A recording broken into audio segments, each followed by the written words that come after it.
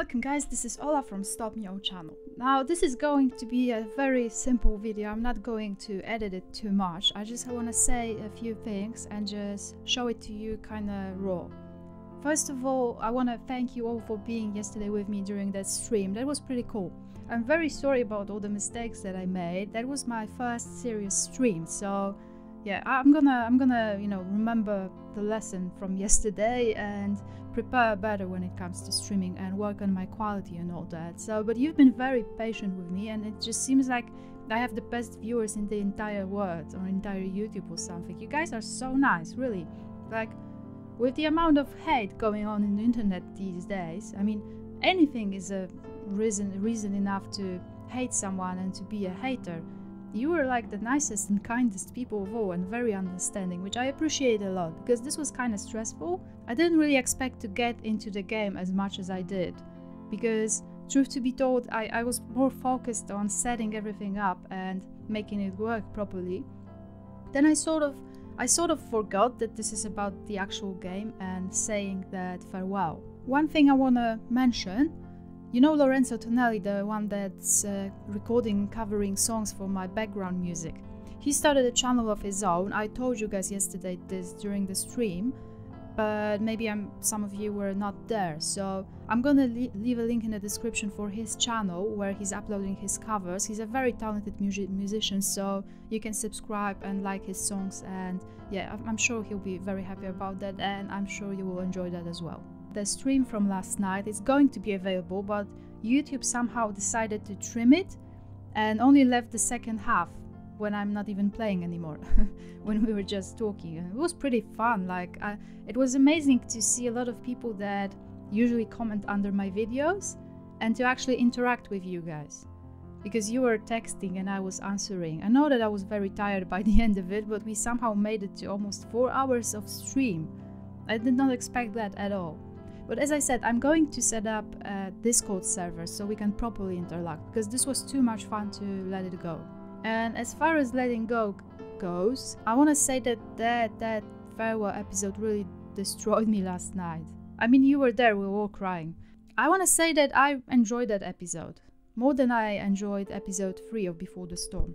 I enjoyed it because, well, we were walking around Chloe's house, finding stuff, some memoirs and memorabilia from their childhood. Well, they're still in their childhood at this point, but like earlier childhood. You know, it was pretty minimal- minimalistic and pretty nostalgic and sentimental, and pretty much what I expected it to be. I knew that we would probably see William's death, and I knew that we would probably see Max leaving to Seattle, but I didn't really expect it the way they handled it with that song. And as, as I said before, you were there. I, I don't remember last time I was crying as hard. This was so much, and this entire episode, it just really put a new light on the Pricefield thing. To me, right now, I really think that Pricefield is sort of a canon thing because of the bond that they had. It was way too strong. Mm, I'm very happy that Rachel showed up after that. Really, I'm so thankful that Rachel showed up and that she was the one good thing going on in Chloe's life at this point. Because there are really no words that could explain Max's behavior. I'm gonna make separate videos on that. These are just my first thoughts. They're still pretty fresh, still going on in my head. But what I'm thinking, I don't really know why Max never contacted Chloe. I thought that we would get some sort of explanation, anything really, any hint that maybe she met someone in Seattle Maybe she would tell us as a narrator that she was too afraid or she didn't know how to act, how to behave, that she was in trauma herself, anything of that sort. But no, we didn't get anything. Instead, we got that tape when she said, Chloe, we'll always be together, I'll always love you. Which are the exact same words that Chloe said to Max while the Life is Strange ending scene. So I know what you did there before the Storm Deck 9 developers and it was so sad. But it was okay sad, it wasn't going too far, I think. Even though it really went too far for me personally, because I feel devastated emotionally after that episode, after that ending. But it really put a new light on Max and Chloe's relationship to me. And now it just feels like I understand why Max did all the things that she did during Life is Strong. Life is strange. Life is strong. Oh god. It's not strong, not in this case. During Life is Strange, while she was trying so hard to protect Chloe from everything and to save her, how can you not save Chloe after that bonus episode? This if if you don't save Chloe, the last scene from bonus episode, that's the last time they ever see each other. And Chloe is left with nothing and with no one. And then she dies.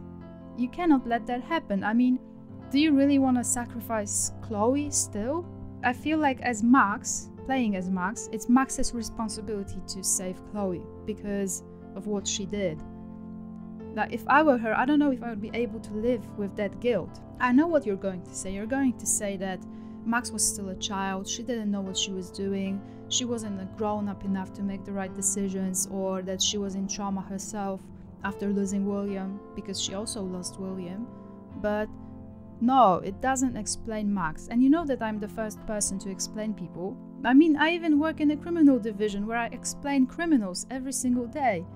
And I find it hard to explain Max. Now, this is really deep and going far. I, I still love Max, but I just think that she really fucked up at this certain point. And I don't like what she did leaving that voice message and saying that we'll always be together and we'll always be in touch, and then never contacting Chloe. I, I don't I don't like it at all. I don't accept it.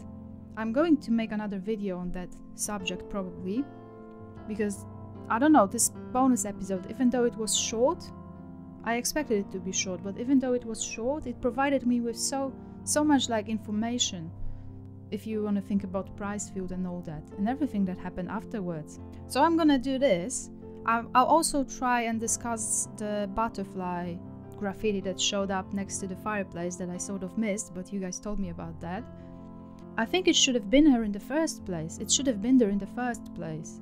Because if you want to stick to the timeline, Max went back to save William, then she failed to do so by putting Chloe in that you know, weird sickness position.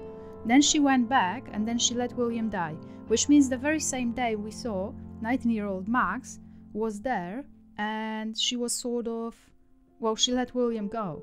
So she did the graffiti. I mean, maybe that's the thing. Maybe as a player, you could have, that was your choice to do that. You didn't necessarily have to do that. So, huh, that's interesting. That's pretty interesting. Because, like, do you see what I mean? Like, if Max went back to save William, that she did the graffiti, and then William died. So, the butterfly graffiti, it's meant to be there. Overall, I liked that episode. It was, um, yeah, it was short, but then again, it was a bonus. I didn't expect it to be as long as other episodes. It couldn't really influence too much, yet it did for me emotionally. Like, I did not expect it to change my mind about Max as much, about Chloe and Max also, about the final decision. I think I think it was okay overall as an episode. These are just my first impressions. I'm gonna make a few more videos about it because it just seems like even though it was short there's plenty to discuss.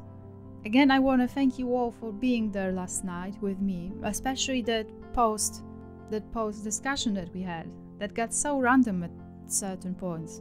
I'm sending back my microphone to be replaced. This one is borrowed, this device, but I think it's working pretty well. I like it a lot, so I'm gonna consider that. Because of that microphone situation, the, all other videos were sort of on hold, but and uh, now I'm gonna go back to everything that I was doing before. So I'm gonna continue walking that playthrough. I'm gonna do more and more Life is Strange videos, obviously and I'm gonna do the Q&A that I promised. Also, I'm gonna do more li uh, live streams because it was so much fun and now it seems like I have a recording space, so this is my new recording space, which will be easier for me to use actually. Now, I did this as a temporary solution yesterday, but it seems like it's working, so yeah, I hope I hope it will be better from now on. Again, I want to say that I have absolutely the best subscribers or viewers in the in, in entire YouTube. Thank you so much, especially Frost for stepping up and modding. I didn't really have a moderator and it's very cool that, that you did that, even though I didn't really leave you any choice. Discord server is coming. I'm gonna set it up, maybe even leave a link under that video. And other than that, I'll see you soon, guys. Obviously, more videos about farewell coming. Th these are just my first thoughts that I wanted to share instantly. 24 hours later. Thanks for being here. This was Ola from Stop Me O channel. If you can see that. But you know it. Bye.